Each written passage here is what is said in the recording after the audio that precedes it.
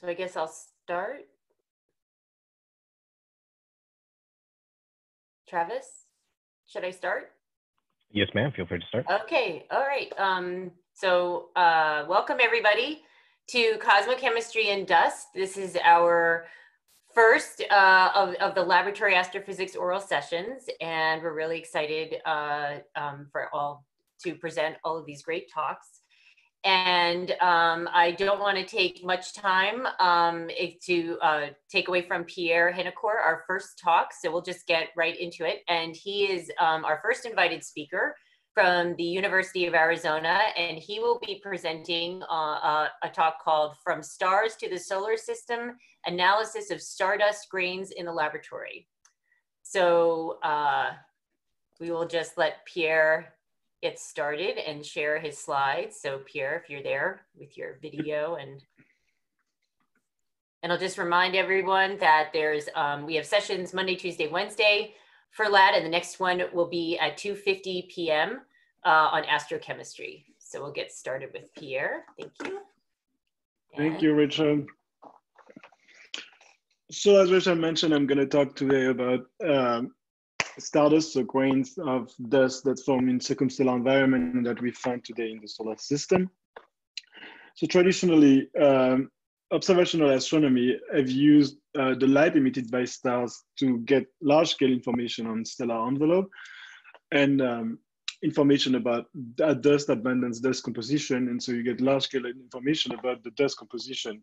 While pre-solar grains provide a snapshot of the isotopic composition or the mineralogy or microstructure of uh, dust grain from a given star at a given point in its evolution. So it literally pro uh, provides a snapshot of um, the condition in a star. And so while astronomy can provide the context, pre-solar grains provide detailed information on a particular time in the uh, stellar evolution.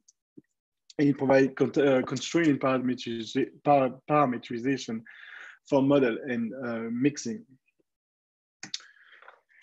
so here I show you as the pre-solar grain constitute bona fide stardust grain, so literally dust condensed in uh, secondary environment. Here I show you three different um, type of uh, grains. So it's secondary electron images showing of grains. So it's the graphite grains and uh, so uh, silicon carbide grains. So there are uh, uh, three different types of grains that were uh, recent among the first type of pre-solar grain identified. And so as we see pre-solar grains, they travel all the way to the solar system. So what's the where the journey uh, to us? And so dust grain condensed in circumstellar environment and in uh, stellar ejecta, they were then transported to uh, the multi molecular cloud. And part of this uh, molecular cloud was then uh, collapsed to form a protoplanetary disk from which the solar system formed. And while most of the material from which, uh, the original material from which the solar system formed was evaporized and recondensed into a new uh, dust grain, a small fraction of the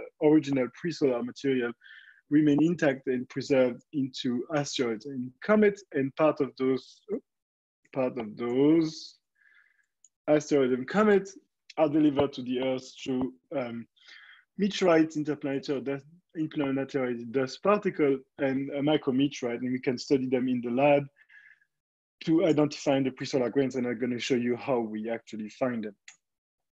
So pre-solar grains were initially uh, found in um,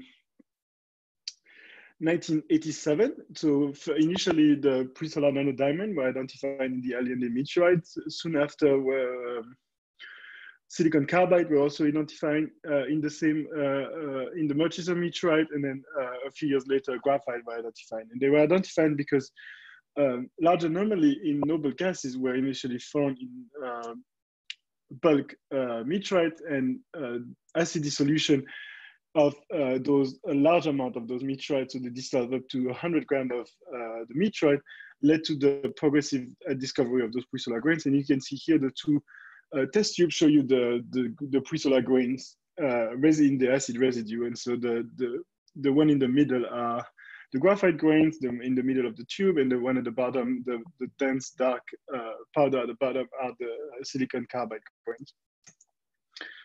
So since the initial discovery of those three initial pre-solar grain phases, a lot of different types of uh, pre-solar grains have been uh, reported. So there is among the carbon-rich grain, in addition to the diamond, graphite, and silicon carbide, there is a, a series of um, of carbide or uh, car, um, like a titanium carbide and, nitro and uh, with nitrogen, but there is also like a, a, large array of oxide and silicate grains, including uh, corundum, spinel, hibonite, magnetite, and uh, different types of wüstite. And for silicate, there is different type of olivine, pyroxene, perovskite, and um, silica, so SiO2.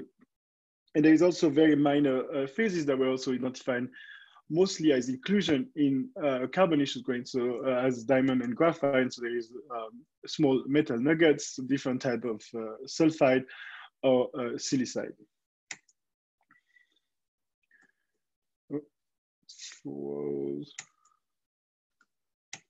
There we go. So pre-solar grains are very small grains identified in meteorite, but to give you some ideas of how small they are, so most pre-solar grains uh, are on the order of microns or less with most pre-solar silicate being on the order of 250 nanometers, but nanodiamond are about one to two nanometers in size. So the typical range of pre-solar grains is between one nanometers to up to uh, about 30 microns in size. So they are very, very, small grains identified in meteorite.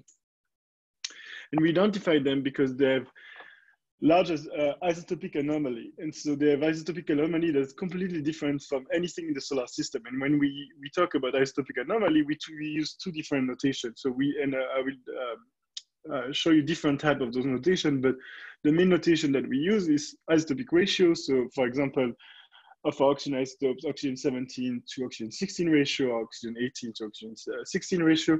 But we also use uh, what we call delta notation, which is simply a comparison of the oxygen isotopic ratio of a given sample to a standard. So it's a deviation from the standard. And for the case of ox oxygen, we use SMOW, so it's standard mean ocean water. And as you can see here in this uh, diagram on the right side, you can see the delta oxygen 17 in function of the delta uh, 18. It's a per mil notation because it's a very small uh, variation.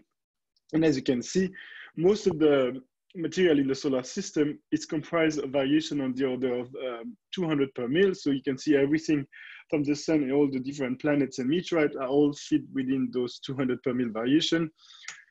While we talk about pre-solar grains, on the other hand, we talk about much larger isotopic anomaly. And as you can see, so here, everything in the solar system actually fit in the in the, the center here, that's uh, the two, the, the cross of the two line uh, labeled as solar systems. So most pre-solar grains show variation on the order of uh, thousands of per mil. So, so instead of um, and have with variation about uh, up to um, about 35,000 uh, per mil in oxygen 17 and uh, five up to five uh, 10 per mil in oxygen 18.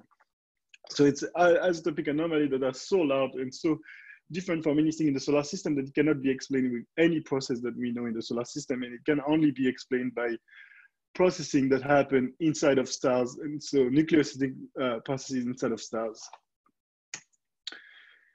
So the discovery of pre-solar grains were initially done, as I mentioned, in uh, meteorite, so in the two famous carbonaceous chondrite, Allende and Murchison, but since then, they've been also identified in a lot of different planetary materials. So they were identified in interplanetary dust particles, so it's particle collected in the upper stratosphere by uh, NASA and those particles are thought to, to originate uh, from uh, comets. They were also identified in uh, Antarctic micrometeorites, which are uh, small uh, particles collected from um, the Antarctic ice. They were also collected, identified in craters from the Stardust mission. So it's a NASA mission that collected samples from the comet Wild 2. And so when particle impacted the collector, the um, the search for pre-solar grains as collectors showed that we found uh, leftover pre-solar grains in the residue of those impacts. They were also uh, recently identified in the uh, Genesis uh, solar wind collector. So it was a collector that was exposed to the solar wind. And so the impact into the collector showed the presence of uh, pre-solar grain.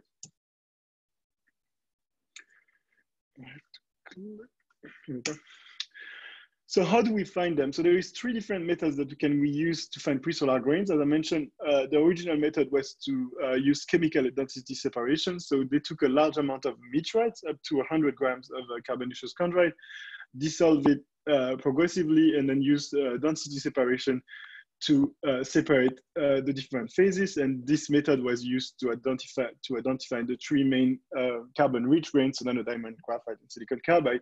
But this method is um, cannot be used uh, to identify uh, other presolar grain uh, phases such as presolar silicate because when you do the dissolution, you have to dissolve most of the main component of the meteorite, which is silicates. And so by dissolving most of the silicate, you dissolve also presolar silicates.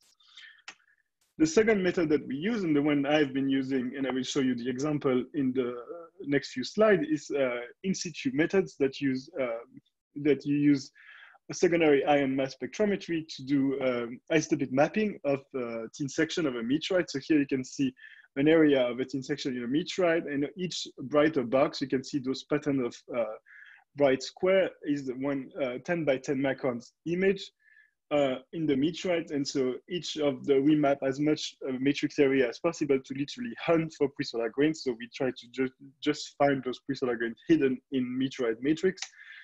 More, uh, recently also people have used what they call grain size separate. So they just took meteorite matrix and then uh, using uh, uh, liquid nitrogen, they froze, they froze the meteorite, uh, the meteorite matrix and unfreeze it really quickly to break it apart and then use grain size uh, separation to basically make size fraction and then deposit that, those uh, different fraction on gold mount to reduce the material that you have to search for to identify presolar grains.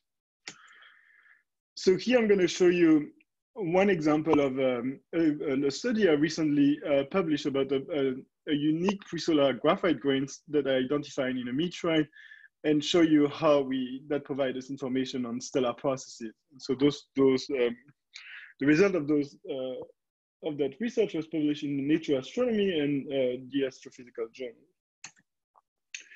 So we carry out, we, we carry uh, NanoSIMS uh, isotopic raster imaging. So as I mentioned, presolar in situ search for presolar grain use uh, secondary ion mass spectrometry. So you, here you can see it's uh, it's a new generation of uh, SIMS instrument. So it's a it's a nanoscale SIMS instrument, and so it, uh, it has two big advantages. First is the as its name uh, implies, it's a has a nanoscale uh, spatial resolution uh, as as low as 50 uh, nanometers, and so it allows us to identify any any grain that are larger than 50 nanometers. But it also has the advantage of having multiple detectors, so between five and seven detectors that allows then to measure more than one isotopes at a time. So as, as you can see uh, in the table uh, on the bottom right, we're able to measure uh, five isotopes at each time. We did three different runs of measurements. So the initial run uh, to identify the pre-solar grains, we measure carbon and um, carbon isotopes and oxygen isotopes, so carbon 12, 13, and then oxygen 16, 17, and 18. And then in the second run, we measured for that particular grain, we also measure nitrogen isotopes, silicon and silicon isotopes, and then uh, sulfur isotopes. And we search for pre-solar grains in a, a carbonaceous chondrite. Uh, I show you a picture on the right, the LEP 03117 meteorite. We choose that we chose that meteorite because it's uh, uh, classified as a type 3.0 meteorite, and the, the the reason we chose the reason that's important to us is because uh, type 3.0 are um, among the least altered meteorites, so they experience very little aqueous alteration or thermal metamorphism, and so they are the most likely to have preserved the most presolar grains, allowing us to identify higher abundance of uh, grains. So here you can see uh, the the grain that I'm going to be talking about. It's a grain is labeled as uh, LEP 149. It's a croissant shape uh, grains. And you can see here on the left, secondary electron uh, image of the grain. Um, it's uh, iso carbon isotopic composition show that the, it has a carbon 12 13 ratio of 1.4. So it's um, for reference, uh, the reference uh, solar system uh, value is on the order is on the order of 89. So it's it's much much much lower than the solar system value that gave us a delta carbon 13 of uh, 62,000 per mil. So it's a really huge isotopic anomaly. It's among the, the lowest carbon 12 13 ratio ever measured in solar system, uh, in the solar system. It also has um, an enrichment in nitrogen 15, and then it shows uh, normal isotopic composition in silicon, sulfur, and oxygen.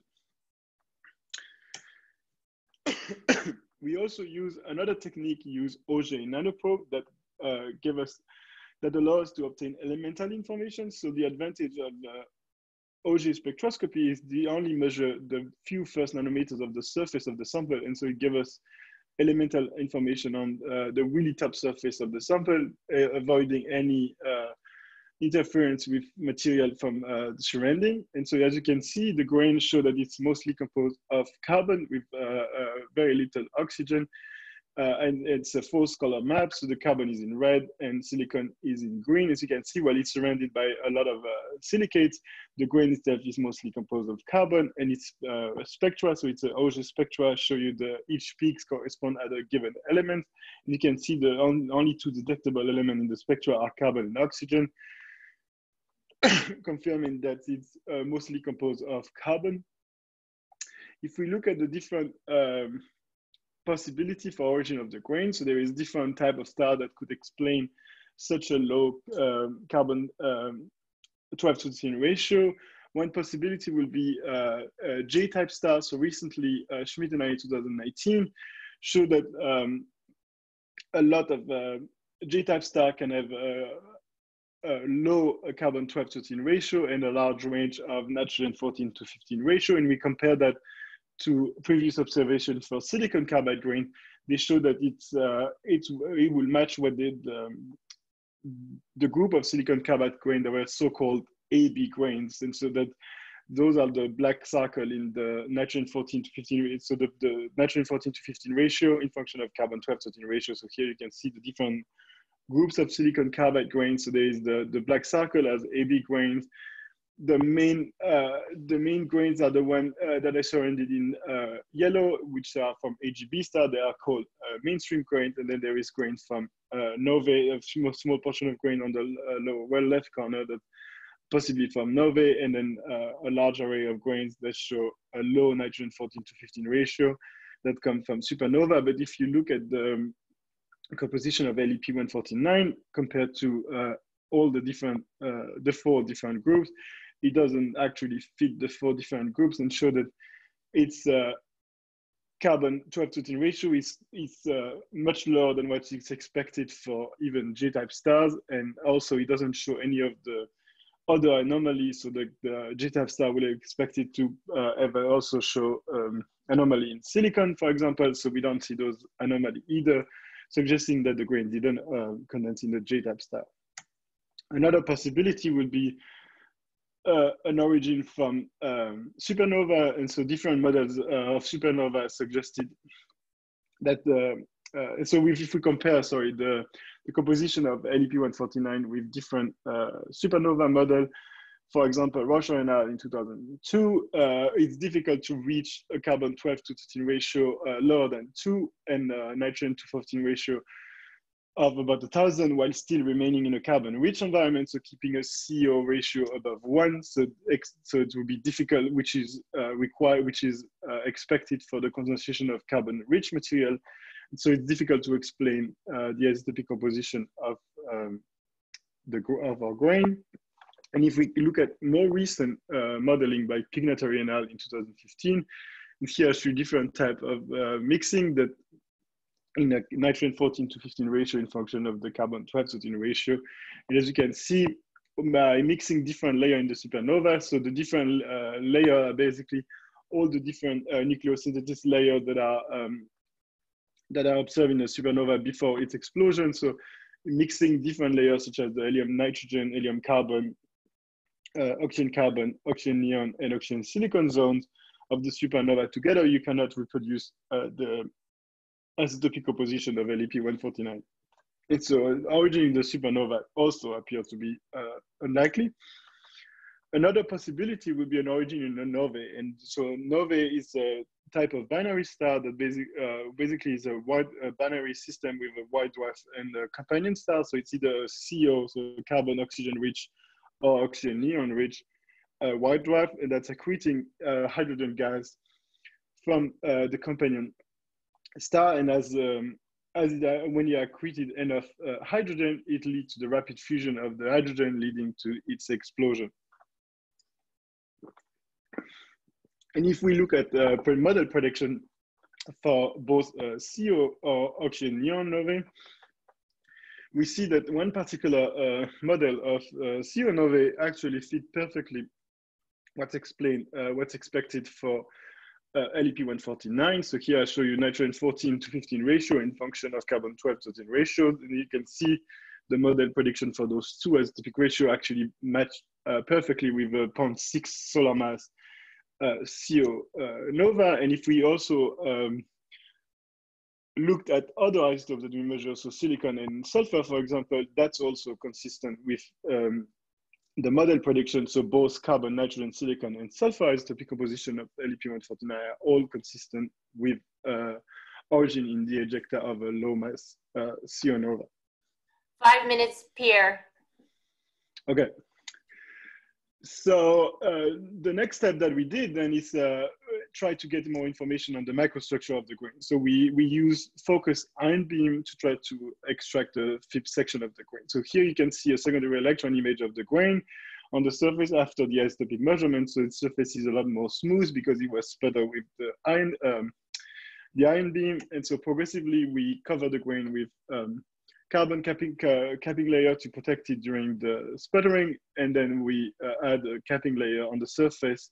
And you can see here is the, the, the capping layer is uh, it's literally a strip of carbon on top of the on top of the grain. You can see the NanoSIMS boxes on this image. Then we uh, use the ion beam to uh, cut around the, the cross section of the grain, extracted the section, and attach it to a TEM grid. And you can see here the section uh, on, on, the on the right, uh, on the left, sorry, the extreme left, you can see the section attached on the uh, TEM post. Then we use transmission, uh, scanning transmission electron microscopy. So we use two uh, different um, TEMs. So it's uh, from Hitachi. We use a low KV 30 kV uh, STEM SEM and then the uh, Hitachi HF5000 at the University of Arizona to get information on the composition, mineralogy, and microstructure of the grain. So here I show you uh, three different uh, images. So the, the, the, type of imaging doesn't really matter for, for the purpose of the talk, but it basically show you uh, the overall uh, structure of the section. You can see the section is very, very thin. So the bottom of the, the section was actually spotted away because we tried to make the section as thin uh, as possible to be com completely electron uh, transparent for uh, to not get inform to ensure that we don't have um, info material from the surrounding material that will affect the measurement. And as you can see, the grain is here at the top of the section as labeled as graphite with the marker around it. If we look at the, the particular, the grain itself, uh, we see that the grain is uh, um, two different rims. The rim at the top, that's basically a rim uh, from the NanoSIMS measurement that's due to uh, the ion beam damage, and then it's surrounding at the bottom by uh, another rim that was not exposed to the ion beam. So this rim, it's actually a genuinely a genuine rim that's not due to any laboratory measurement. The graphite grains is here in the, the bright in the middle, but it also show an inclusion. So there is uh, this uh, different contrast uh, inclusion. And as you can see in the schematic, I show you this, the inclusion in red and the surrounding graphite in gray. If we look at really high resolution imaging, you can see that we can see those um, lines that are consistent with what have been observed for uh, graphite. And I show you an example for pre-solar graphite. You can see those lines uh, uh, show you that uh, the pre-solar uh, graphite is expecting to have a, a, stacking of graphene sheet with a, a spacing of uh, 0.34 nanometers, which is consistent with what we observed. So we see that the, the, the line has basically distant, uh, have a, a, distance of 0.34 nanometers consistent with um, graphite and because it's not, not, not, we don't observe really long strips of graphene sheet, but, but those smaller uh, lines, it's consistent with nanocrystalline graphite grains. So the grains is actually composed of nanocrystalline graphite. If we look at the um, elemental composition, so we did uh, EDS, we use EDS to get elemental maps. You see that the, the graphite, as expected, is mostly composed of carbon. So you can see the carbon map in the, the uh, carbon map in red, so that the graphite grains is really composed of uh, carbon. However, the inclusion is uh, not carbon rich, but it's oxygen rich in the uh, map in, on the left side show that it's oxygen rich in blue. If we look in more detail, you see that uh, false color imaging of the uh, elemental maps with silicon in green, oxygen in blue, and carbon in red. You see that the inclusion is mostly composed of uh, silicate and uh, oxide. And if we look at the magnesium and iron, uh, magnesium in pink and iron in green, you can see that it's a mixture of uh, magnesium silicate and iron and aluminum oxide. So its inclusion is actually a mixture of both silicate and oxide-like material. So it's the first, this actually composed, consisted the first observation of an association of oxygen-rich uh, grains inside of a carbonaceous uh, pre-solar grains, either silicon carbide or graphite. And so it was because both uh, material were uh, expected to condense in very different uh, environments so that we didn't expect to find them uh, associated to each other. One minute, Pierre. Okay. So let me skip the rim. I'm gonna just go to the uh, so to explain the, the main the main the main point that I wanted to show here, it's uh, that the oxygen-rich inclusion inside of, uh, of the graphite could reflect either two, two different things. So it could reflect spatial or temporal variation in the nova ejecta. So temporal variation will explain that uh, you form the inclusion uh, first, and then you form graphite around it and then you form the rim at the bottom. However, this doesn't work because astronomical observation shows that uh, carbon-rich uh, dust form uh, before the silicate. So were, there is observation about, uh, um, of nova ejecta for several years that show that carbon-rich dust form first. And so that doesn't work. And so the, the, the other possibility would be spatial variation where um, the silicate uh, inclusion uh, form and the graphite inclusion form in different part of the ejecta and then um, large-scale uh, transport in between the ejecta explain the formation of the uh, graphite around the silicate inclusion. And this is actually consistent with observation of nova ejecta, where you can see that the, so that's a composite image of the GK Persei uh, nova ejecta showing you that basically material is really clumsy. So the dust is really clumsy. And so that's consistent with our observation where condensation of oxygen-rich and uh, carbon-rich materials, so graphite, in, uh, could form in different places, but large-scale transport will explain the transport of the oxygen-rich inclusion into a carbon-rich region where graphite condense around it.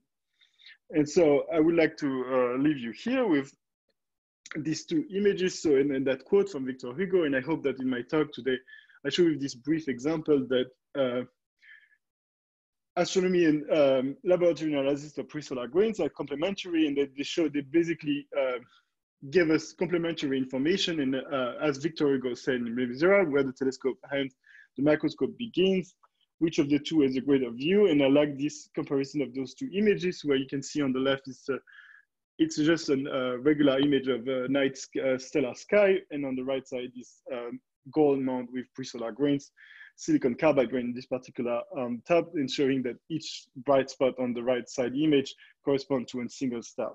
I would be happy to answer any question. Thank you, Pierre. Big, we're all applauding. Okay. um, so we have, that was great. Thank you so much for the overview. So we do have a question. Uh, Philip Stancil would like to know, would uh, uh, what effect would processing of the grain and the ISM have on the 12C, 13C ratio?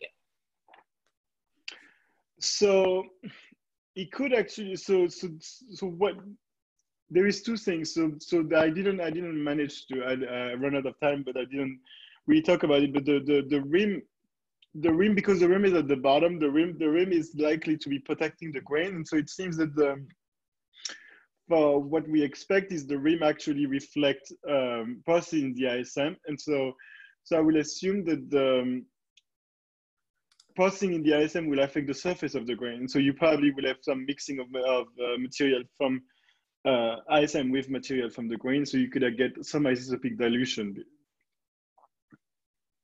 So you will actually decrease the anomaly on parcel on part of the grain. Uh-huh. Any other questions for Pierre? Uh, oh, we're getting one typed in, Charles. Uh, I think we only have part of it.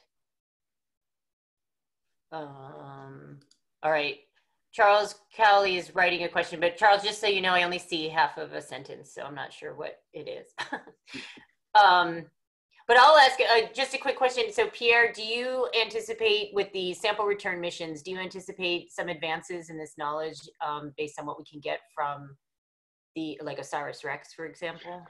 Yes, so so the the advantage with the OSIRIS REx mission is we know that the grain won't be affected by any processes uh, during the transport of the like meteorite. The, the meteorite came all the way here, so so we know, but we know that uh, meteorite comes from asteroids, so we we expect to find pre-solar grains in uh, sample from OSIRIS REx. So that, that's going to give us basically the context of where those pre-solar grains actually res reside hmm. during all this time, and so that will give us more uh, more insight into um, pre-solar grains directly in asteroid rather than having them from um, processed meteorite in some ways. Because even in the most pristine meteorite, such as the meteorite I looked at here, they, they do experience a significant alteration process in some ways. Cool. And um, we have to go to the next talk, but I'll just add, sure. if you can answer this next one quickly. Um, mm-hmm. You mentioned early in the solar system, uh, this is from Charles Cowley. You mentioned early in the solar system history that the solid was recondensed. So what fraction was not vaporized? And then so in terms of abundance, it's very it's very small. So pre-solar grains are on the order of just 100 uh, part, well, up to 200 part per million. So it's uh, it's much less than a percent. So most most of the material was actually destroyed. Was actually destroyed. So it's it's way less than a percent. Great. Thank you so much, Pierre. We're going to move on to the next talk. Thank you. So if you stop your share, um, and then uh, our next talk is by Ella Sciamma O'Brien, uh, and co-authors are Contreras and Salama. And the uh, talk will be on scanning electron microscopy study of cosmic grain analogs produced in the NASA Ames Cosmic Simulation Chamber. So, Ella. Good morning, everyone. Let me see if I can get this going. Um, okay. Whoop. Can you see my slides and not my presenter mode? No, okay. You're good. You're good. Okay. So yes, today I'm going to close this for a second. Okay, so yes, I'm going to talk about the scanning electron microscopy study that we've conducted on cosmic grain analogs that we produced at the NASA Ames Cosmic Simulation Chamber facility at NASA Ames. Um, so this work was done by myself, Cesar Contreras, and Farid Salama, at NASA Ames, and I'm just going to go directly to the first slide. The idea, whoops. Um, the motivation for this work is to do laboratory studies of carbon grains to try and um, follow the evolution from carbon molecules to dust grains in the outflow of carbon stars. So this schematic is really nice. It, it shows how you go from small molecules to much larger molecules, polycyclic aromatic hydrocarbons, and then formation of dust grains in a dust condensation zone in the outer circumstellar envelope. And this is what we're trying to simulate in the laboratory. And so to do that, we use the Cosmic Simulation Chamber, which was developed at NASA Ames to generate, process, and analyze interstellar, circumstellar, and planetary analogs at low temperature.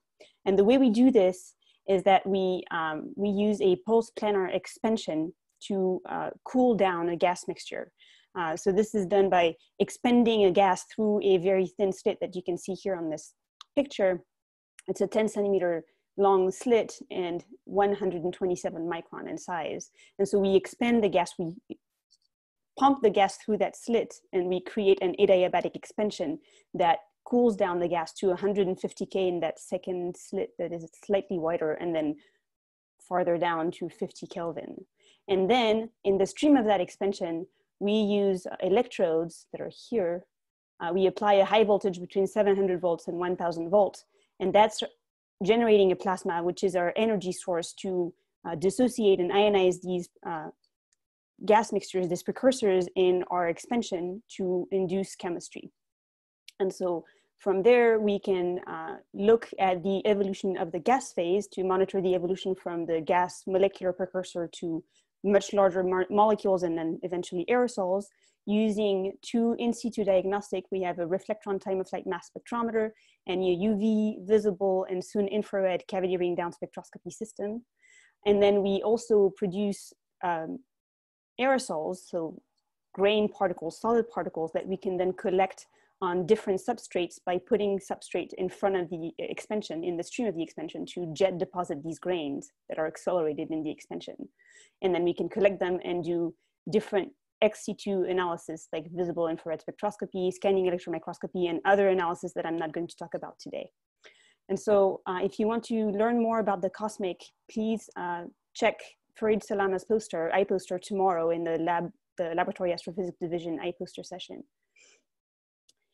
For the, the study that I'm going to talk about today, we did a gas phase analysis with the mass spectrometer um, a few years back to look at the products of the chemistry. And so Contreras and Salama did a very thorough study with a lot of different hydrocarbons seeded in argon uh, expansions and looking at the products of the chemistry. So this shows you for the argon methane plasma and the argon acetylene plasma. So for argon methane, we produced uh, carbon two um, products. And then with acetylene, we went farther in the chemistry because we start with a heavier precursor and we have time to go farther in the chemistry. And if you have questions about that, we can talk about it at the end.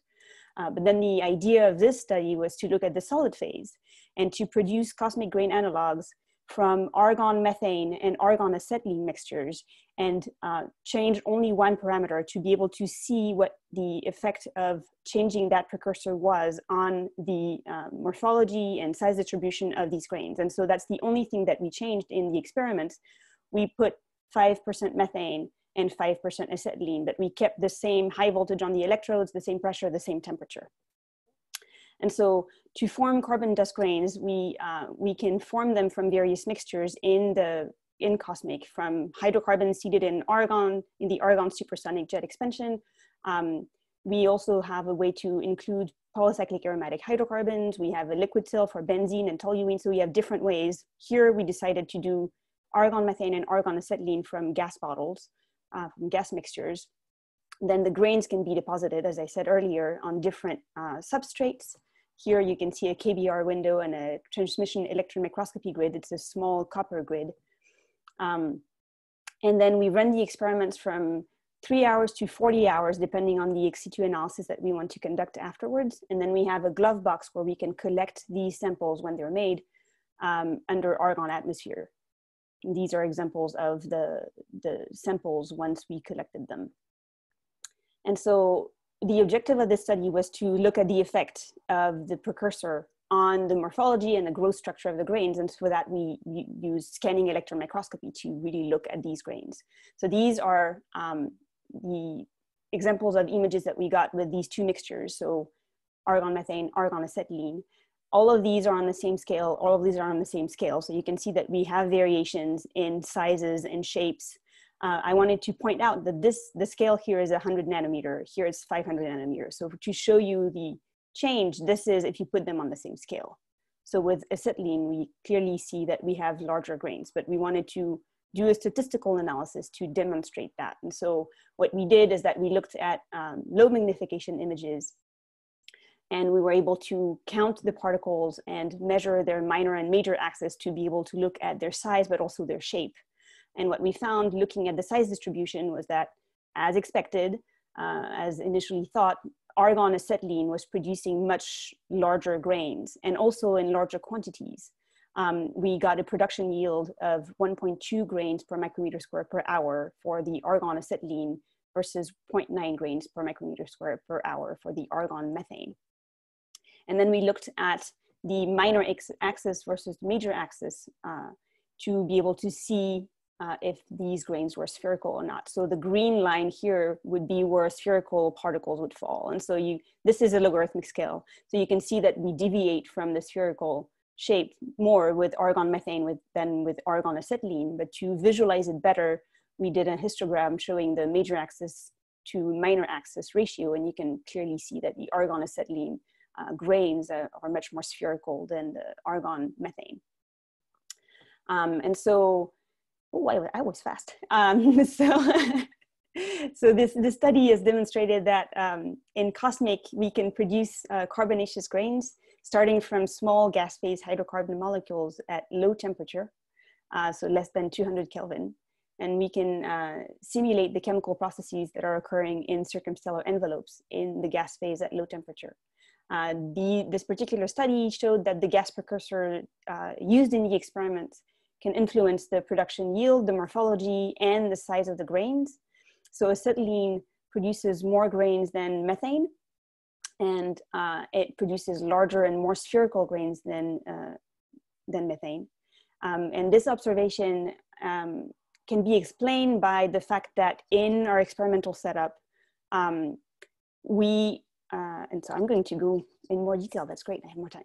So the what I showed earlier with the with the gas phase uh, mass spectra data, showing that when we put uh, methane, uh, we go to we produce certain types of molecules, and then when we put acetylene, we produce larger molecules. What we found with the gas phase analysis was that in our experimental setup, because we accelerate the gas through the slit, um, we have a residence time of our gas in the plasma cavity, in the plasma discharge, that is very short. It's like less than four micrometer, microseconds.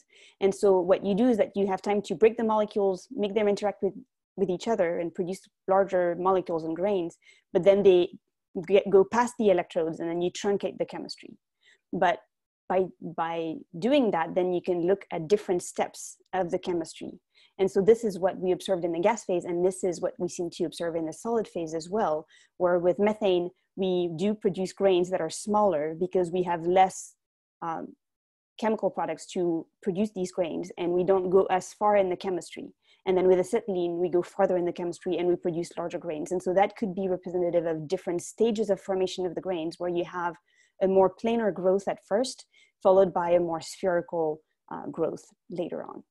So this was really an interesting uh, find. And so the next step now is to look at the optical constants from the visible to the mid-infrared of these grains to provide that to the scientific community. And so I wanted to show you uh, the first results that we have uh, of refractive indices of the argon methane 95.5 gas mixture for the cosmic grains we produced, uh, the real and imaginary part. And so we got the uh, N and K value from 0.4 to 1.6 micrometer um, from uh, a commercial entity called Filmetrics. Um, and so we got these N and K values. And then we used the NASA Ames optical constant facility that was recently, recently developed uh, to characterize the optical properties of our grains um, in the mid-infrared and, and determine the N and K value. And so these are optical, these optical constants are critical input parameters in radiative transfer models, protoplanetary disk models. And so we're really excited to be able to give that to the community soon. So and you, um, uh, it's about one minute, Ella, if you want to keep going. I'm done. Okay, thank you. That was great. Thank you so much. Yay. Um, so we have a question from Juan Camilo Zapata. What do you mean by going further in the chemistry?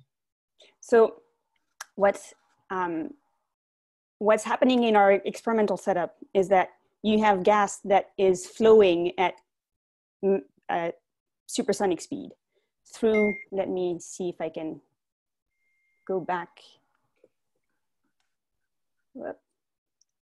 So I'll try and show you here. So here you accelerate your, ah, no, technology. Okay, so yes, you, you accelerate your gas and um, your plasma discharge is here between the anode and cathode. Um, and so the gas stays for three microsecond in that region and then it passes the electrodes and no chemistry is occurring in the expansion. And so what you do is that if you start with a heavier precursor, you'll have larger molecules that will start interacting with each other faster as if it was the, the products of the uh, argon methane um, chemistry that you re-inject so that you can go farther in the chemistry. That's what I mean by going farther in the chemistry. Is that just that you have as, as if as if you were increasing your time in the plasma discharge, but in fact it's just that you put heavier molecules initially, and so then you get larger molecules in your products. That makes okay. sense. Thank you. And one more question from Amanda Hendrix. Um, can you derive optical constants in the UV? So we have funding to buy the instrument to do that but we haven't done that yet. All right. Well, if there are no other questions, I don't think anyone can type in two seconds. But thank you, Ella. That was great. Um, and we'll move on to the uh, second to last talk by Tom Zega, co-author Lucy Ziurys, and from the University of Arizona. And the title is Phosphorus in Chondritic Meteorites Beyond Schreiber Site? Beyond Schreiber Site? Question mark. Yep. Beyond Tom. Schreiber's height. Schreiber, thank you. Sorry. Schreiber Sure. Site. There you go. Can you, can you see the screen?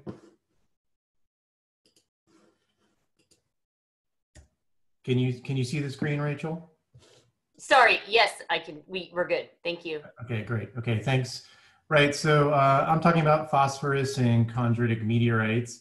So uh, phosphorus is important because together with carbon, hydrogen, oxygen, and nitrogen, it plays a critical role in biochemistry. As we know, phosphorus is part of the backbone for DNA. It bonds with oxygen in these ester groups as part of the backbone for DNA and RNA. Uh, it's also important in planetary uh, materials. Uh, phosphides were actually present in the early solar protoplanetary disk. And phosphates themselves occur in and on planets. And there's an example on the right here in this image. There's a material there. You can see apatite. That's from one of the Apollo uh, samples. And apatite has volatile materials in it. Its chemical formula is here. So it's one of these phases that can trap uh, volatiles like chlorine, fluorine, uh, hydroxy groups, et cetera, et cetera. Uh, and then we know that phosphorus also occurs in organic compounds and meteorites uh, in the form of alkyl phosphonic acids um, that have been uh, separated out of primitive meteorites. So phosphorus figures prominently in biochemical processes, but there's some questions as to why it should figure prominently. It has a very low cosmic abundance of three times 10 to the minus seven relative to hydrogen. It's not even among the top 10 most abundant elements in the solar system. It only has one stable isotope, phosphorus 31. And thermodynamically, it appears to be sequestered um, into metal type compounds. And so on the right here is a uh, table of, uh, of, of thermodynamic uh, stability predictions, uh, phases as a function of condensation temperature. This is by Katharina Lodders in 2003 in APJ. And you can see uh, phosphorus is sequestered in this phase called Schreibersite, uh, Fe3 phosphide. So Schreibersite uh, occurs in, in a number of different types of meteorites, including iron meteorites, and it's been speculated that perhaps these are the source of phosphorus for, uh, for the early Earth. But once sequestered in this kind of material, uh, the phosphorus itself is not highly reactive uh, or easily converted into organic uh, compounds. So the questions that we've been asking ourselves in, in, our, in our studies here uh, is, were there alternative carriers for phosphorus other than this phase called Schreibersite uh, and apatite in meteorites? How do these compounds compare with interstellar and circumstellar phosphorus-bearing molecules? Uh, and then ultimately, what is the life cycle of phosphorus from its formation in uh, evolved stars, uh, ultimately its transport into molecular clouds, and then perhaps even into uh, stellar forming protoplanetary uh, disks and other planetary systems. So our work is multi uh, uh, dimensional here. So the myself and Lucy Ziurys uh, are trying to tie together the solid state and the gas phase uh, phosphorus distribution. So we're looking at both meteorites in the solid state and also circumstellar and interstellar clouds in the gas phase. For this talk, I'm focused only on the solid state. So we've been looking at meteorites, and a range of different types of meteorites, ordinary and um, carbonaceous chondritic meteorites. So for this study, we've looked at mildly heated, pristine, and even aqueously altered meteorites. Uh, their names are shown here. Uh, the Bishunpur LL3.1 ordinary chondrite, which has been slightly heated, and then um, a series of uh, type 2 meteorites, carbonaceous in nature, that have experienced some hydration, and then a type 1 carbonaceous chondrite, which has experienced lots of uh, aqueous processing. We have available, available to us, but not yet measured, um, some type 3O carbonaceous chondrites. Uh, their names are shown here. They're not particularly important other than to say that these are meteorites that have largely escaped any kind of processing and are believed to be pristine remnants from the early solar protoplanetary disk. So we just haven't had a chance to measure them yet. So these are our methods. I won't go into detail on these. You've heard uh, uh, the past two talks I've mentioned these kinds of techniques. They're electron beam techniques, laboratory-based techniques, including um, the scanning electron microscope, or case the electron microprobe, um, something called a FIB uh, scanning electron microscope, and then a transmission electron microscope. Uh, the point here is that combining these techniques, these laboratory-based techniques, allows us to interrogate materials from the centimeter scale down to the atomic and identify where different elements are located and what their chemistry and structure looks like. Okay, so our workflow generally starts with imaging of a sample. Usually we look at it with uh, what's called backscatter electron imaging, which is just a fancy of saying uh, we form images that have contrast that are sensitive to atomic number, and that allows us to see chemical heterogeneities in our sample.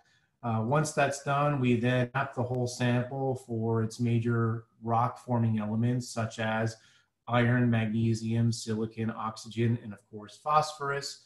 Uh, we identify where local phosphorus enrichments occur. And then once we know that information, we perform higher scale mapping.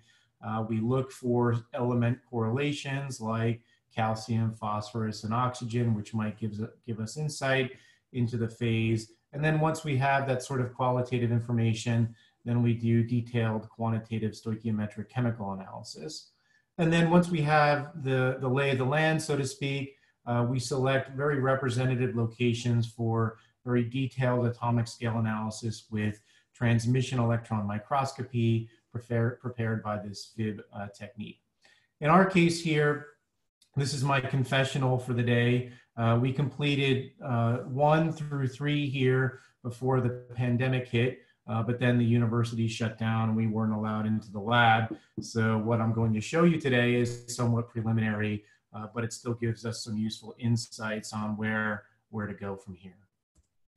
Okay, so I'm just going to show you a series of images of what these things look like uh, with some mention as to what we have found thus far. So this is uh, one of the, the meteorites we looked at called the Bishunpur LL3.1 ordinary chondrite. It's nearly pristine, although it's experienced some mild heating. This is a backscattered electron image or an atomic contrast uh, image, and you can see lots of objects in here like chondrules. These are the objects by which chondrites get their name, and then they're surrounded by finer grain material that's referred to as the, as the matrix. So this gives us an idea of what's in the sample. And then we have to map it for its element distribution. So on the right here is a phosphorus map uh, of this same uh, region of interest or field of view. And you can see there's some areas that have local enrichments in phosphorus. So then we identify all of those and we look at them in more detail. I think in this particular sample, we identified upwards of 40 or so uh, areas of interest. So then we go and we look at these in more detail. So this is just happens to be one of the regions we looked at. This is a chondrule. You can see uh, it's got uh, some higher contrast material in it. There's probably things like metal. And when we map that, with the spectrometers, we find, of course, yes, that some of these high contrast regions have metal, uh, oxygen, they have some sulfur, carbon is probably artifactual, uh, but then there's also phosphorus in here. So we find phosphorus metal, phosphorus bearing metal on the edge of these chondrules. Uh, same thing, we also find uh, phosphorus bearing uh, material inside of the chondrule itself. This is another area of a, of a different chondrule within Bishunpur. So there's phosphorus that's inside of some of these metal and sulfur bearing grains as well. So we're seeing some chemical heterogeneity here. Here's another one. This is actually in the matrix of the, of the meteorite. So you can see phosphorus is localized to this grain here, and it doesn't appear to correlate with anything else um, in this set of maps except oxygen. Uh, I don't have calcium shown here, but this is likely some kind of phosphate material. Uh, and then another example of a sort of core shell particle grain in the matrix. So you can see this intricately layered grain here. It's rich in phosphorus, it has oxygen in it, uh, and probably some other elements that didn't show up in this particular map. Okay, moving on to Murchison. So this is a, a, type 2 meteorite that's experienced some alteration. You can see all the areas of interest here. Uh, and I'll just show you again these. So here's a grain in high contrast. It appears to contain phosphorus, iron, and sulfur. So some kind of iron uh, sulfide grain with phosphorus in solution inside of it. Uh, another um, broken down chondrule inside of a uh, inside of Murchison here. You can see phosphorus is sitting within the sort of interstitial sites uh, in the chondrule itself. Uh, it seems to be correlated with oxygen uh, and maybe a little bit of iron. Uh, this has probably been uh, mildly uh, altered, uh, but there is phosphorus that's retained inside of that. Another example here with phosphorus inside of this interstitial material in the chondrule correlated with iron and some oxygen as well. And it appears to be part of the glassy material in the, in the chondrule. Um, about one minute, Tom. Okay, so I'm just going to flip through these. I'm not going to point them all out because I've, I've got too many slides and I'm running out of time. Uh, but this appears to be a phosphate on the edge of a chondrule. Here's what Murray looks like. We find some metal grains with a phosphorus bearing shell that's correlated with sulfur. Uh, this is a type 2 meteorite. Here's a iron, uh, sorry, an iron, iron sulfur phosphide uh, with an iron sulfur oxidized shell.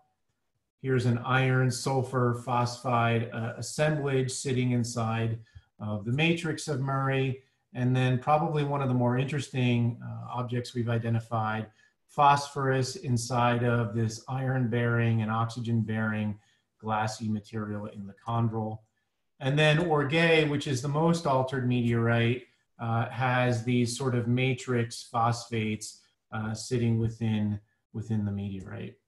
Okay, so uh, just to kind of summarize this, the pre preliminary work shows that there's a variety of carrier phases for phosphorus. There's phosphorus-bearing metal on chondrules, phosphorus-bearing material in chondrule glass in Bishunpur, phosphorus-bearing metal sulfide in chondrules, and phosphorus-bearing oxides in the matrix. In the type 2 meteorites, there's, uh, sorry for the typo, phosphorus and matrix metal sulfide assemblages, phosphorus and chondral glass, which is quite interesting, um, and matrix metal sulfide phosphorus assemblages. In Orgueil, we find uh, phosphates. So the electron microprobe data suggests that schreibersite, this iron nickel phosphide phase, probably occurs in uh, materials like, or meteorites like Bishunpur, uh, but there's other oxidized and sulfidized phases that carry phosphorus. Uh, some phases, particularly those of Orgueil, are likely the products of parent body aqueous alteration, but metal sulfide phosphide assemblages could represent alternative carriers of phosphorus in the disk itself, and phosphorus-bearing chondrule glass associated with silicon might be linked to, sorry, uh, silicon phosphorus molecules in clouds that Lucy Ziurys is studying. So just to summarize quickly, phosphorus is a minor but critically important element in meteorites. Uh, it probably occurs in multiple phases, both reduced and oxidized. It may have been sequestered in phases beyond Schreibersite in the disk with potential links to interstellar molecules. But of course, once it gets into parent bodies of meteorites, it can be altered, uh, including by uh, aqueous processing. And there's more work to do uh, which may give insight into how it was delivered to the early Earth. Thank you. Thank you, Tom. Great. Um, so we'll try to answer these. If you can answer, is you know, the faster you answer, the more questions. We only have like a minute. But um, first of all, how do you identify all areas of interest in the sample that's um, from Juan Camilo Zapata? Sorry, let me see if I can bring up the Q and A. Okay, how do you identify all areas of interest in the sample? Yeah, So- I'll, I'll tell you, I can, read the- I'll read the question just so you, yeah, go ahead. Okay, yeah, so how do we identify them? We basically map the sample. We look for every area that there is phosphorus and we try to um, follow up those uh, reconnaissance studies with more measurements. Uh, that's how we identify. Try Okay, Did you mention phosphorus? um, Okay, one. sorry, you're breaking Uh, up a little, maybe that's me. Sorry, I didn't mention. Can you hear me? Yeah, yeah, go ahead. Yeah, I didn't mention Whitlockite. It may be there, but that requires quantitative analysis, which was the net in the study. Um, but like I said, the pandemic hit, but that'll be one of the next things that we do is quantitative measurements. Okay, and I guess the last, if you want to answer Murthy Gudipati's question, we have time. any observation organophosphorus? Are there observations of organophosphorus compounds in these meteorites? Yeah, that's a great question. So this was one of the original motivators for the project was to look for organic organic and uh, it's very difficult to detect using the methods that uh, we have available to us in the solid state at the moment. But there appear to be a few areas where there is a carbon and phosphorus correlation, and we'll we'll follow those up um, in the future. Great. All right, unfortunately, we have to go to um, the next talk, but uh, thank you so much, Tom. All right, so the next talk is, uh, it's our last talk, and this is our second invited talk of the session. So this is Lia Corrales, who will be discussing astromineralogy and dust grain growth with X-ray imaging and spectroscopy. And uh, Lia is from the University of Michigan. Lia. Thank you.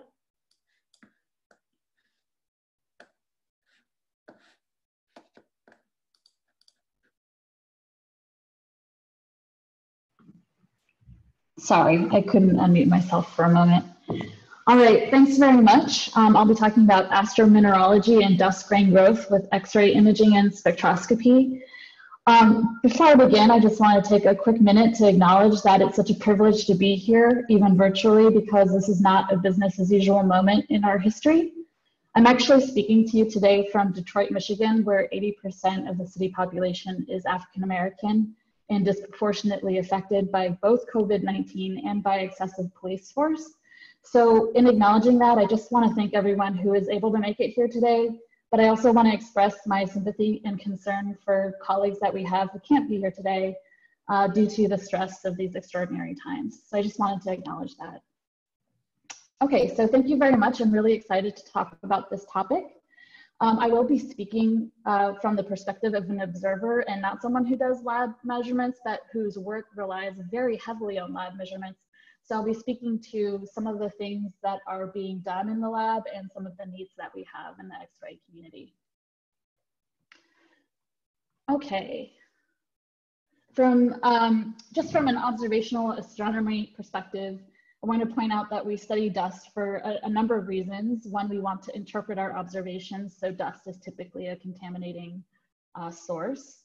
Uh, so for example, interpreting SEDs of star-forming regions is highly dependent on our understanding of both the mineralogy and the grain sizes of the dust that's obscuring it. Um, we also study dust to understand fundamental physics from everything from cosmology. Uh, dust has a contribution towards the cosmic microwave background, uh, but we can also look at dust polarization to make maps of magnetic fields in clouds, for instance, this Orion molecular cloud. And finally, we also want to understand dust in order to understand our origins because dust is the building blocks for life in planetesimals, which many of the speakers in this session have already spoken about. Um, again, from more of an observational perspective, we tend to think of dust in an interstellar medium of having a particular life cycle where there are many questions along the way. Uh, so first, of course, we need some metals, some heavy stuff to form the dust, and that comes from stellar fusion, nucleosynthesis, or evolution, and death.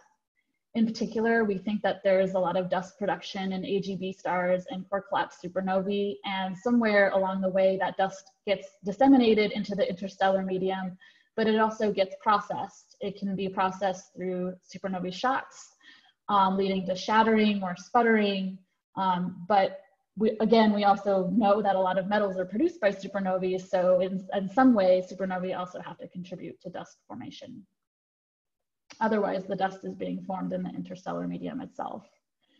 Um, finally, when the interstellar medium dust does reach colder, cooler environments, um, like molecular clouds, you get grain growth and chemical processing, often through, um, we believe, icy material collecting onto the dust grains and forming mantles. Um, and then eventually, as a star forms, this dust uh, ends up in a disk where it gets processed in a variety of ways. That is still um, an ongoing field of research, um, and the whole process starts again. So um, the thing I like to hammer home with this diagram is to point out that there are many different environments in which dust presents itself, and um, we have very different populations of dust surviving in different types of environments and a lot to study. Um, and fundamentally, what I'll be talking about is doing this in the X-ray and um, how we can use X-rays to evaluate both mineralogy, so dust composition, as well as grain size. Okay, so why in the world will we study ISM dust with X-rays to begin with? Uh, this picture you see is actually a spectacular dust echo from Circinus X1. Um, this image was made by Sebastian Heinz, and it's just one of the most uh, it's one of the most impressive ways that we've been able to study dust in interstellar medium with X-rays. Um, so in particular, the X-ray band covers photoabsorption from all the major metals, um, from carbon through iron, um, and it's basically through photo, photoabsorption bumps. So um, for instance, the oxygen K edge or the N equals one photoelectric edge and also absorption features around there are very strong and as well as iron L to name two fundamental elements. Um, but the other great thing about this is that um, because it's the X-ray, it actually, most, most dust grains in the interstellar medium are optically thin to the X-ray photons. So we're actually able to separate both the gas and solid phase by looking at fine structure and absorption in the X-rays. So as an example, uh, here's a plot of absorption in the spectrum of Cygnus X2, where there are different features that are associated with atomic oxygen 1, um, as well as some unidentified features which they attributed to a compound. Um, I'll talk more about the oxygen K uh, shell in, in detail later, um, but on the right you'll see a plot of um, a dust template along with oxygen 1 and oxygen 3 photoabsorption cross sections if you had 1% of the oxygen in, in O3. So this is very interesting and unique because it, most other wavelengths, you're really only looking at dust or you're only looking at gas. Um, so this gives us the opportunity to use galactic X-ray binaries pro as probes of the galactic ISM. So as an example, there's over 100 targets and 335 observations in the Chandra archive of bright X-ray binaries that could potentially be used to probe the ISM. Um, I've overlaid them on a map of dust emission from Schlegel, Finkbeiner, and Davis. Uh, so you can see there's many different types of sight lines we can probe, but most of them are in the galactic plane.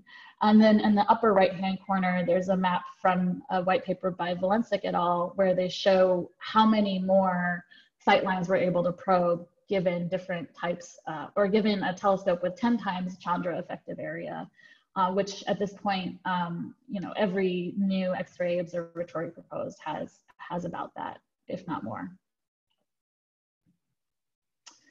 So um, I'll be talking more specifically about X-ray absorption fine structure because that's where we have the most diagnostic power. And I'll be talking about uh, theory of it, stuff that's been done in the lab and the frontiers of, of this science for us. Okay, so um, it's well known that in general, when you have deep photoelectric absorption uh, within heavy elements such as iron in this particular example, um, if that uh, if that iron atom is in a crystal or a molecule or any sort of, you know, nearby another atom, uh, you're going to get oscillations around uh, the isolated gas phase cross section, which we call X-ray absorption fine structure.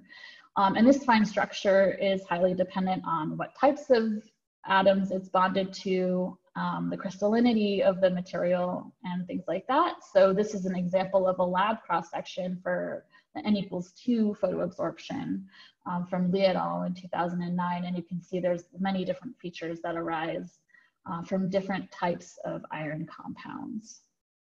So the goal would be to take the absorption that we see from X-ray binaries in our galaxy and match that to these templates so that we can understand what the exact mineralogy is of interstellar dust.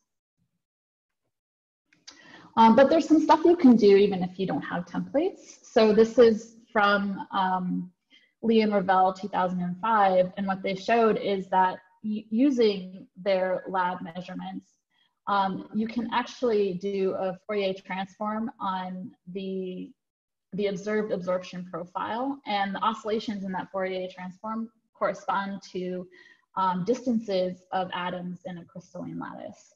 So basically, um, you can think of XAFS as perturbations on the gas phase cross section. Um, they measure atomic spacing um, and in general, mineral composition and crystallinity. So this is just a few examples of that uh, taken from the lab. Okay, so there is still a lot of work to be done because the lab work is very difficult, and I'll talk about that in a second. But we definitely have iron K and iron L shell measurements. Um, not everything is publicly accessible at this time. Um, there are ongoing measurements by the SRON group in, um, in the Netherlands, and they're working actively on iron L, oxygen K, and carbon K. Uh, we have silicon shell also from that, from that group that's been publicly released, and iron K as well. Um, there's also some recent measurements of iron L shell from GEMS, for instance, from the Westphal et al. paper. Um, there's also some theory work on carbon K shell absorption, um, but again, a, a, lot of this stuff is not publicly accessible, so it's hard to test at this moment. Um, and then there are various um, oxygen K and carbon K shell uh, features from molecules and ices that are used in um, an AMOL model. Sorry, this is a specific model from X-ray observatory um, software called SPEX. And so it's semi-public because that, that, sorry, that code was just recently released publicly. Um, but a lot of these measurements are, are fairly old and could take, could um, be done better, I believe, with more modern technology. Okay, another thing that's difficult about lab work in XAFS is that it's, it's very technically challenging. So every person that I've talked to that has performed lab measurements in the field of XAFS uh, cites difficulties in sample preparation, purity, and then calibration. Um, a, an additional complication is that in order to obtain a full census of all of these elements from carbon all the way to iron K, uh, you actually require a range of experimental techniques, whether it's fluorescence technique, um, where you're actually measuring the excitation of of the electrons in the material or whether it's actual you know, measuring transmission of x-rays through material. Um, and something that's well known in XAFS is the thickness effect, which occurs in experiments with optical depths of the sample that are greater than or equal to around two. And in the case of soft X-ray absorption features, particularly oxygen and carbon and things like that, it's really hard to get something that's thin enough uh, to completely avoid these effects. And then again, if you're using fluorescence techniques such as those used for the silicon K edge and the Zeegers et al. Paper, um, this requires very careful treatment of self-absorption from the samples.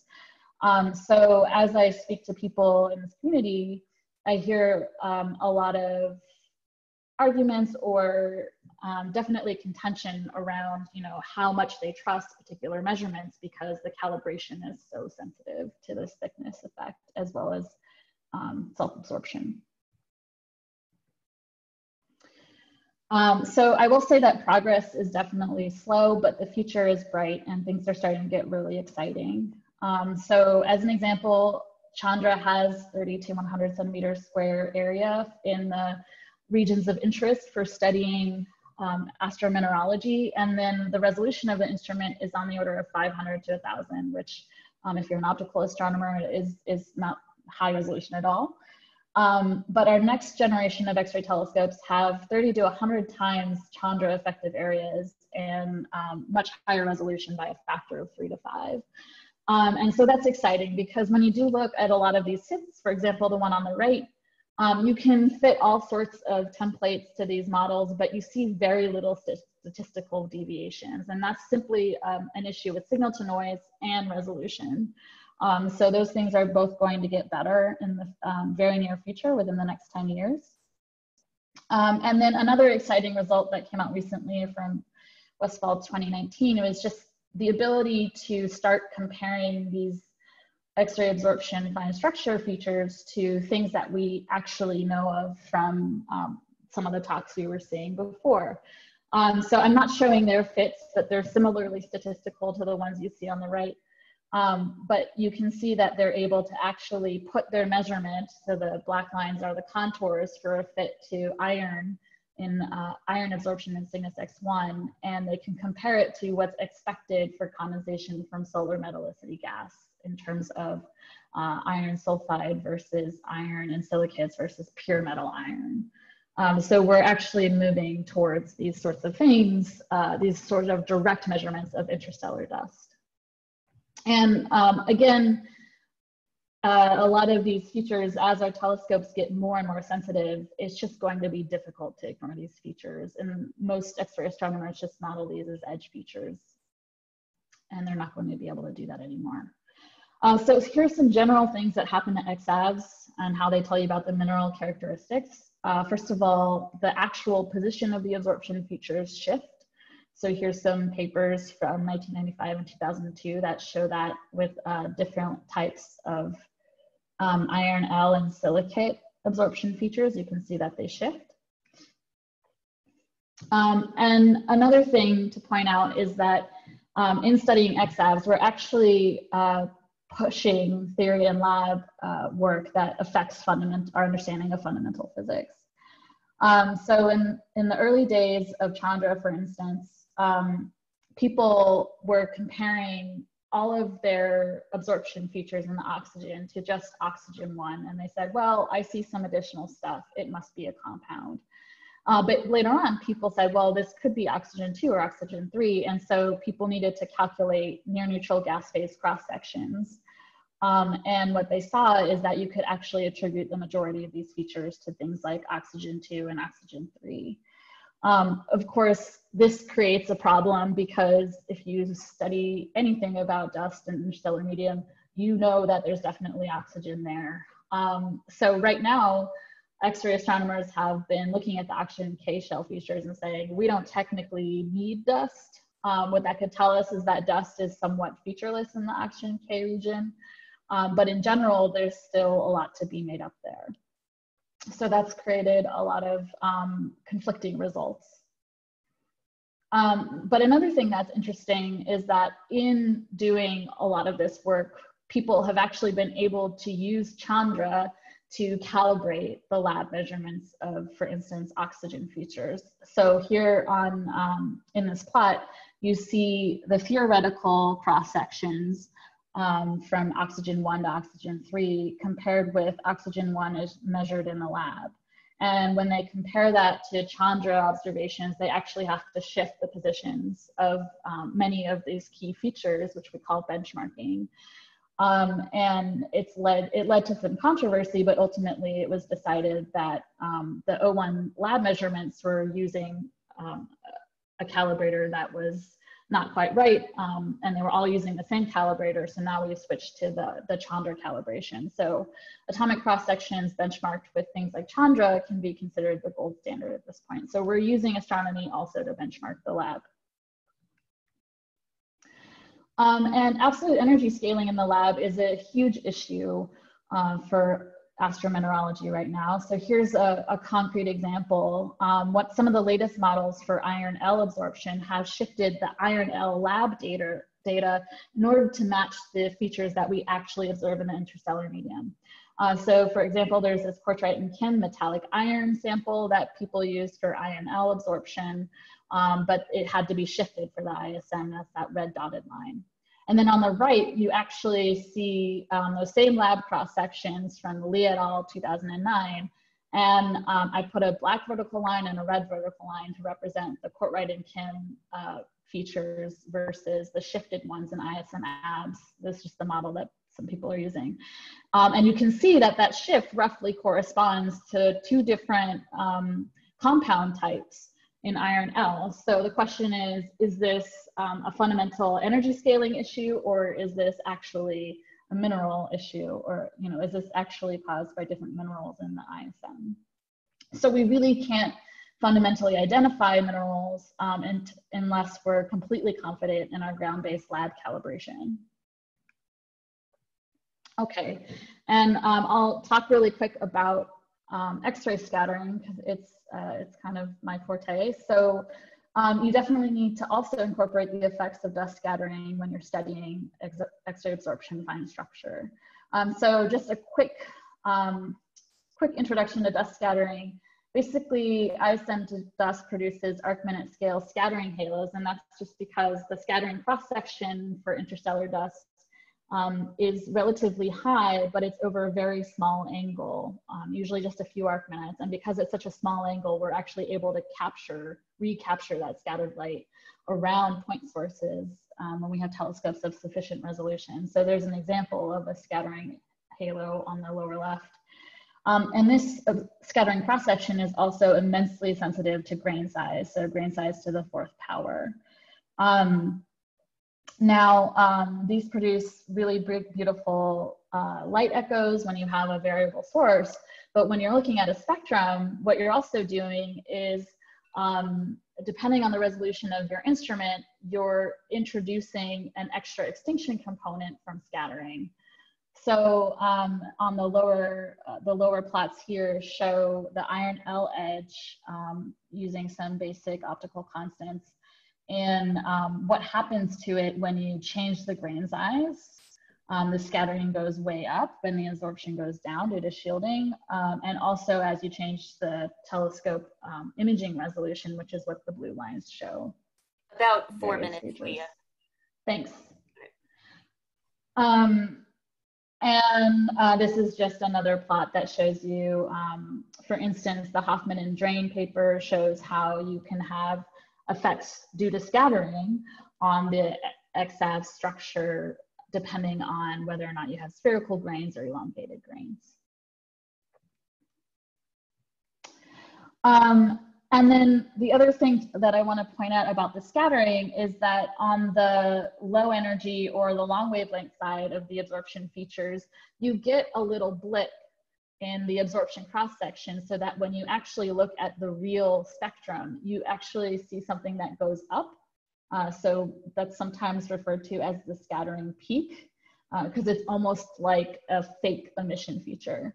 Um, so people have started to claim that there is a peak that arises, for instance, in silicon K shell absorption that's coming from um, some very large grains because the large grains are the ones that scatter. So um, we have this GX5 minus one result from Zeegers et al. where they say they need a power law distribution of 0.1 to 0.5 micron size grains in order to mimic um, this upswing in the spectrum that you see here. And then Schulz et al. did not do a fit, but they just said mm, maybe this feature right here is due to scattering. Um, so in order to actually do these measurements and to do these models, we, we need the complex index of refraction, which is not always what people are publishing. Um, we need to compute the scattering from first order principles in order to account for the effects of self-blanketing or basically shielding within the large grains, um, which not every measurement has taken into account. Um, so this is just something that's really important. I'm always asking for these complex index uh, the complex index of refraction. Um, and it's also essential if we want to model more complex grain structures, such as grains with mantles or mixed features grains um, and things like that. So that's what we're looking for. Okay, um, I will go really quickly through some interesting questions that we're looking to answer with X-ray uh, with X-ray studies of the interstellar dust. One, we want to know what's going on with oxygen. Um, we need to be able. Uh, we know that there's more oxygen depleted in the ISM than is available for silicon and magnesium to soak up. Um, this is a case for water ices and large composite grains, which is really great for X-rays uh, to study. Uh, we also just want to know the absolute abundances of metals in the ISM because a lot of that is based on assumptions around depletion and what we see in just gas phase absorption. Uh, another big question is how much dust survives supernovae and how does iron dust form? So we know that the majority of iron in the interstellar medium is produced by type 1a supernovae where we don't really see um, evidence for dust being formed. And yet iron is depleted very heavily and easily in the ISM. So is it forming in the diffuse ISM? Um, and if so, how is it being incorporated into larger dust grains that aren't just iron? I talked briefly about the oxygen problem that we're having, um, so I'll just glaze through this. Um, right now, people are fitting oxygen without solids, um, and that's something we need to fix, um, and that's something that requires lab measurements. Um, one of the ways to solve this problem is to look directly at the X-ray spectrum of the scattering halos that we see, and this is what I'm working towards doing. Um, here on the left, you can see basically a scattering opacity, so something like the spectrum you would expect to see from a, a scattering halo where there are distinct features coming from each particular element in the dust grains. Um, you can also look at um, the broadband spectrum of the source in order to look for uh, oxygen features. So here's one where it was done at very low resolution and they do see some oxygen features. So again, uh, we do expect that. And then I'm on the XRISM science team, which is the next generate or the next X-ray telescope that will be launched that will have um, imaging spectroscopic capabilities. And this is a, a prediction for GX339 minus 4, where we can see scattering features from solid oxygen. Uh, one minute, Lia. Thanks. Um, okay, so I will just go forward to a few other things. Uh, one thing we're worried about are effects from the local environment. So because we are looking at X-ray binaries, there is some variability and there is some contamination from higher, um, higher ions. Um, but in general, we're able to, to get uh, particularly robust results when we look at populations of, um, of different X-ray binaries. Um, right now, we have a sense that um, absolute ISM abundances need to be adjusted when we look at these. So this is an example from Schulz et al. where we see that the silicon K-shell absorption depths are just generally stronger than expected. Um, and we need some adjustments to some of our ISM abundance models. And I just want to point out that um, the most exciting thing is that we're going to be seeing a lot of these scattering echoes and scattering halos. So this is a paper uh, where we looked at all of the X-ray binaries in the sky and made predictions for how many of those spectacular dust echoes we're going to see, just like the one I, I showed earlier. Um, and for XRISM, you can see that we we are generally expecting to see three to five times more um, X-ray spectacular dust echoes, um, but the next generation, such as Athena and Lynx, uh, we'll see over 30 times. So we're talking about, you know, a few dust echoes a year versus uh, one every three or five years. Um, okay, and the last point I want to make is that X-ray gratings instruments are really the best at probing a larger population of dust um, because X-ray gratings um, give you better resolution at the soft X-ray end than any of the X-ray IFU type instruments that are being developed now. Um, and in particular, they're necessary for looking at carbon and oxygen because a lot of the X-ray IFU instruments um, really cut off at, at around a half keV. So um, we want to see these these uh, elements, which are very important, as you all know. And um, we also want to be able to expand our measurement of uh, from local ISM to extragalactic ISM at higher redshift. So that requires softer X-rays. So um, this is just a plug for Arcus and Lynx, which would potentially have X-ray gratings on them. So I will leave, uh, leave off here with some conclusions and I'm happy to take questions. Thank you. Thank you, Lia. Yay, everyone's clapping. Um, so we do have one question so far, and that is from Murthy Gudipati. Uh, the energy, regarding the energy spectral line widths, can they be improved in the lab and on the telescopes? And are they a limiting factor? And if so, why? Um, the spectral line widths. Or the um, energy spectral widths is how he described energy it. spectral widths. I'm, I'm guessing that means can, uh, if you're there, you can type a clarification. Yeah, um, I'm guessing that means like energy resolution. I, yeah. I, well, I guess just answer it how you feel. Yeah. Uh, there's a limiting factor that he can clarify. He meant the line with res- resolution.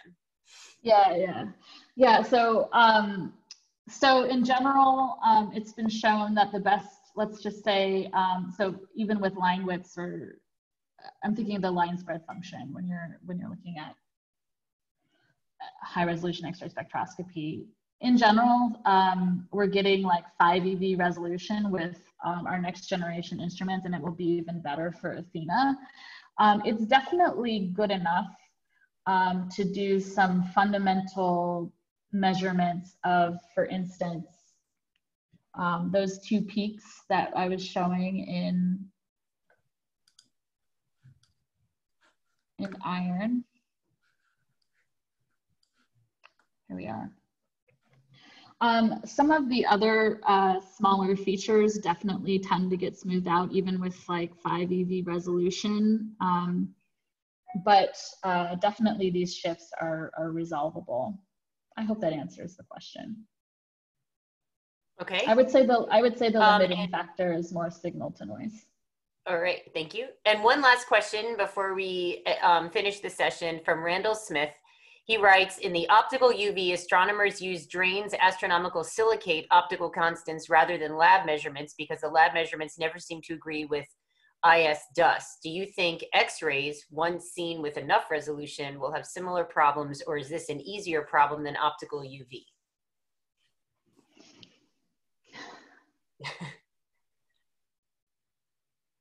well, we're going to see a lot of discrepancies, I think, um, from the Draine model um, because it is very much approximated.